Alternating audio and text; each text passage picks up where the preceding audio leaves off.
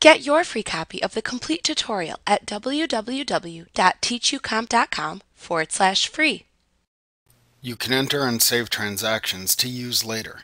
These types of transactions are called memorized transactions. Sage 50 can memorize and save quotes, sales invoices, purchase orders, payments, and general journal entries you make frequently, so you can use them again later without retyping them. When you use a memorized transaction, you can still edit its information so it applies to the particular situation. This lets them be flexible while still saving typing time. You create memorized transactions by type within the corresponding Maintain Memorized Transaction Type window, where transaction type is the type of memorized transaction form. To open this window, select Maintain Memorized Transactions from the menu bar. Then click the Type of Memorized Transaction to create from the side menu of choices that appears. To create a new memorized transaction of the selected type, if needed, click the New button in the Windows toolbar. Then enter the information you want to appear whenever you select the transaction in the future. You do not need to enter information into every field.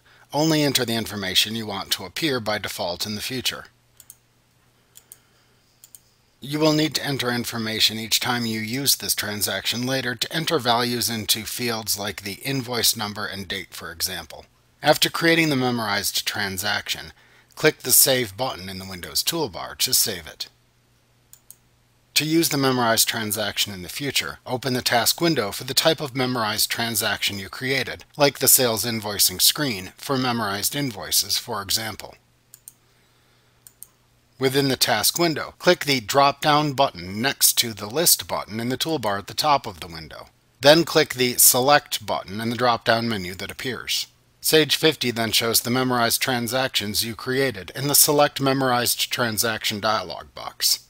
Select the memorized transaction to use in this dialog box and then click the OK button. The information from the selected memorized transaction then appears in the task window. You just need to enter any unique information required to complete the transaction.